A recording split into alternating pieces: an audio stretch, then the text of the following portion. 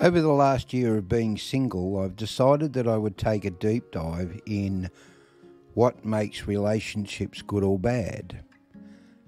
Now, uh, let me premise this that I'm not a person who has a degree in psychiatry or anything like that. But over the last year, I've been taking a deep dive, reading some books, and just taking uh, observations of what I uh, understand from the dating culture here in Australia. In preparation for this video, I have written down some uh, thoughts but also taken some statistics from uh, official sources. And so here we go. I also understand that a lot of you will disagree with what I say in this video, and some of you may agree with me.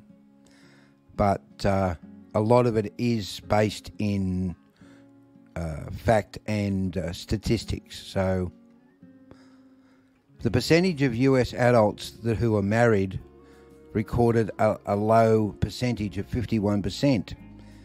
The nation's adults who are now married, by contrast, in 1960 there were 72% of adults who were married. Now, they're US statistics from the US Census Board reports. So, why are so many men refusing to get married? Is it because of women or is it because of unfair family justice system? Historically low marriage rates in America, the lowest level in 118 years, women's independence and gender equality is a huge factor in long term decline in marriage. There has also been complaints from men about the unfair treatment in relationships and family courts. They're tired of being browbeaten by women and the gender bias laws against men. For this reason, millions of men do not want to get married and are opting out of marriage altogether. Avoiding marriage because it's too risky and too costly. Divorce rates are sky high.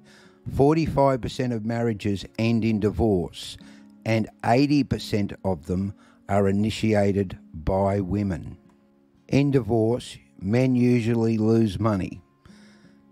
They're renowned for favouring women regarding the division of assets, child support, and alimony in the United States, even if they're not married.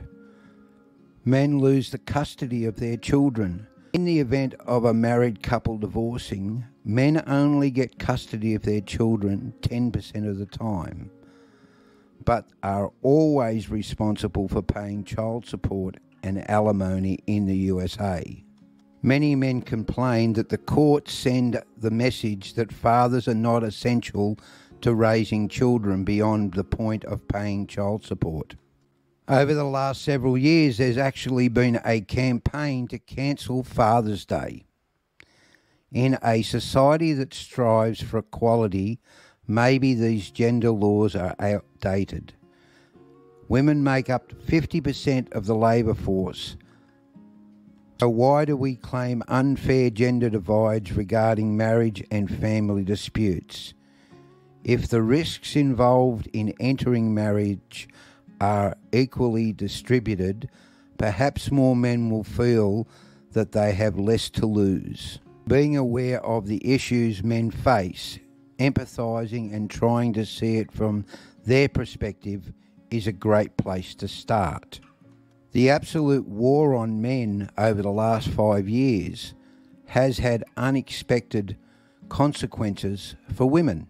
A dating expert has claimed that the Me Too movement has made men across the world scared to approach women on the street for fear that they'll come across as creepy or be accused of harassment. My problem with the trickle effect Me Too has had, where the, it's affecting normal guys approaching women in a bar or in the street. It's being perpetuated like you've got to be super, super respectful to women. You can't invade their space. You can't talk to her, you can't approach her. So, well, what's left? And women are now complaining that men do not approach them when they're out. I do believe that the Me Too movement was a great thing. It exposed a lot of creeps and help victims of sexual assault heal and f- move forward. Men in power were held accountable for abusing their power to manipulate women into sex. There is another effect.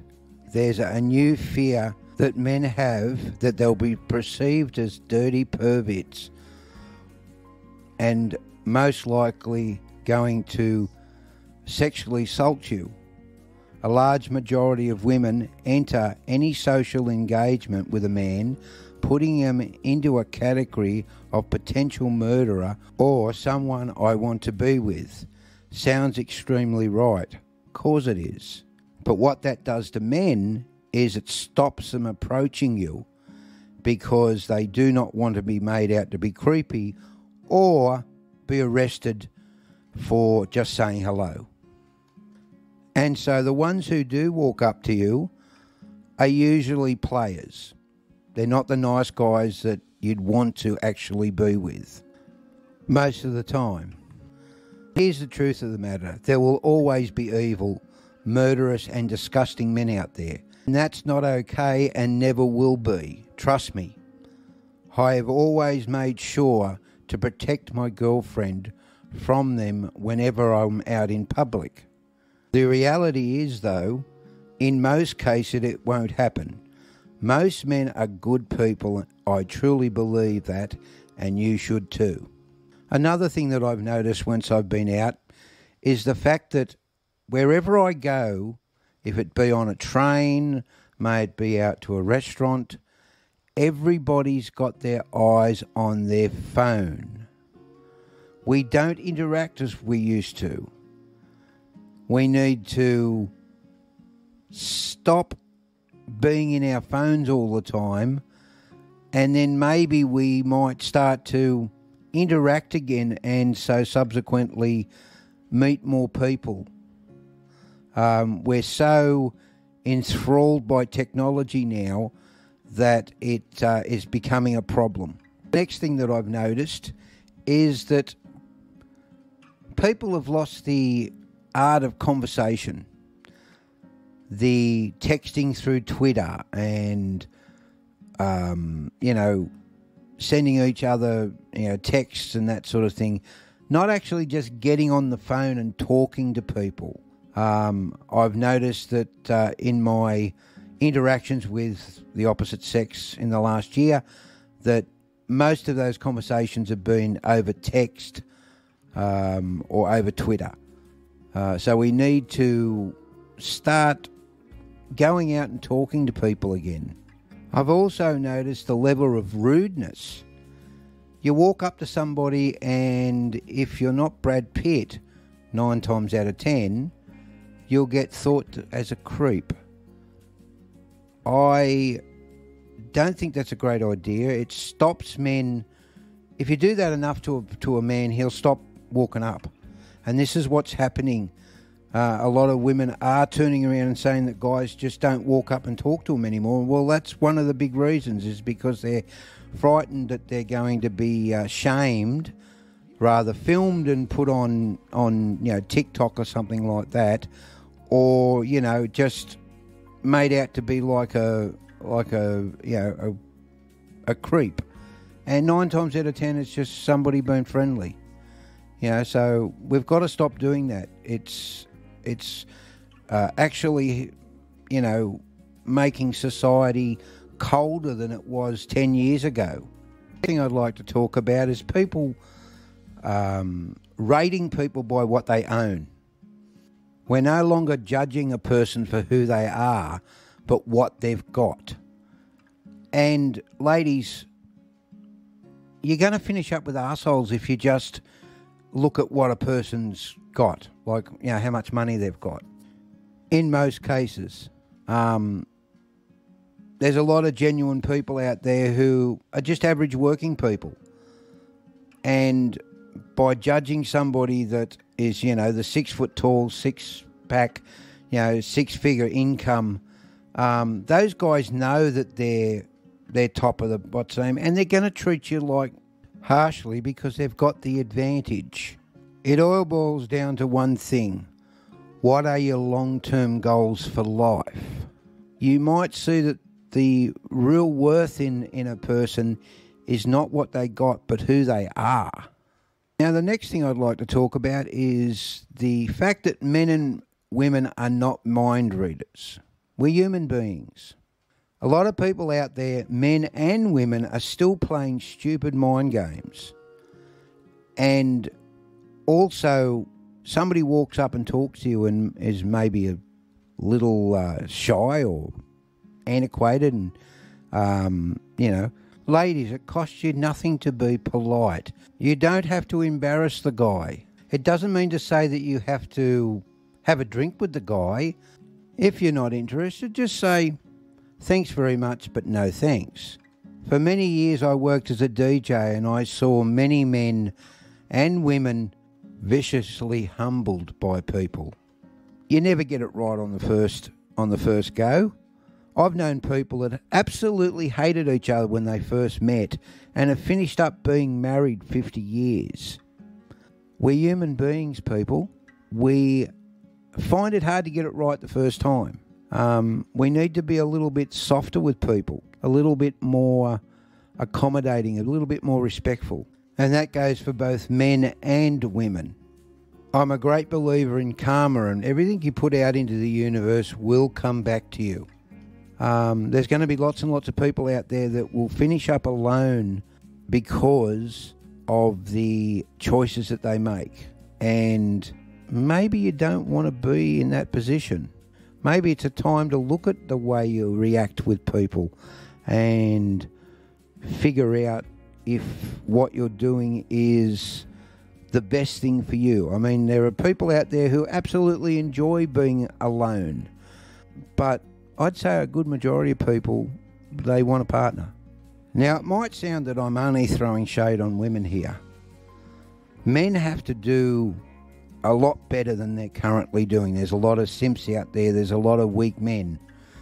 There's a lot of men who have let themselves go and they're overweight and they need to get themselves into the gym. They need to work on their finances and make sure that they're a good provider. They need to be better men. They need to be more truthful to the people they go out with, um, and they need to uh, learn to be a man, not not a simp. There are many great books out there that you can learn to improve yourself. You need to be able to look into the mirror and say, I respect you. Because if you can't respect yourself, then other people out there can't respect you also. Not accepting the bad behaviour that women force men to accept. If you disagree with what your woman's doing, then tell her so and tell her that if she doesn't stop it, that you'll go because it's better to be single than put up with somebody who is disrespecting you. And ladies, that goes equally for you too. If a man doesn't respect you, then a happy relationship is one that you can sit down and actually work out the boundaries of which each of you are willing to accept. As Jordan Peterson says, sometimes you've got to have the fight. Also, men need to understand that it's a partnership, it's not a dictatorship. So you need to work together because life is hard enough as it is without fighting the moment you walk in the door of a night time. And ladies, you need to also give the man a a safe space to come home to. Stop the nagging because that drives men away. Now, guys, if you find yourself alone and you've broken up with somebody, don't allow yourself to get into hate. Take it as an opportunity to work on yourself. Because over the last year, that's what I've done. I've worked on myself. And I feel much better for it. I've identified things in my own character which I need to work on and have. But also, I understand why my past relationships haven't worked. I've had a chance to reflect and understand that that person probably wasn't the right person for me. I also understand, though, that every relationship you have, you do tend to learn something from it. So it's never a waste of time. And you'll start to attract people when you concentrate on yourself and not allow yourself to get into that hateful rage. There's a lot of men in uh, the different uh, manosphere uh, parts that are just bitter about what they've happened, what's happened to them in their previous relationships, and it's just eating them alive. Don't do that to yourself.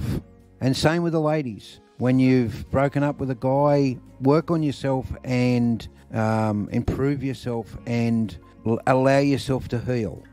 At the end of the day, men and women need each other.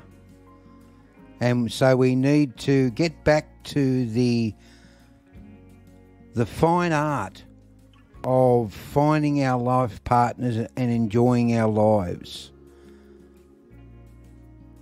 But that's all for me today. You've been listening to Philip Gale, and this is Morning Thought Farm. If you've enjoyed this presentation, please remember to like, share, and subscribe, and also look at the other video that I have up in the right hand corner. Bye for now.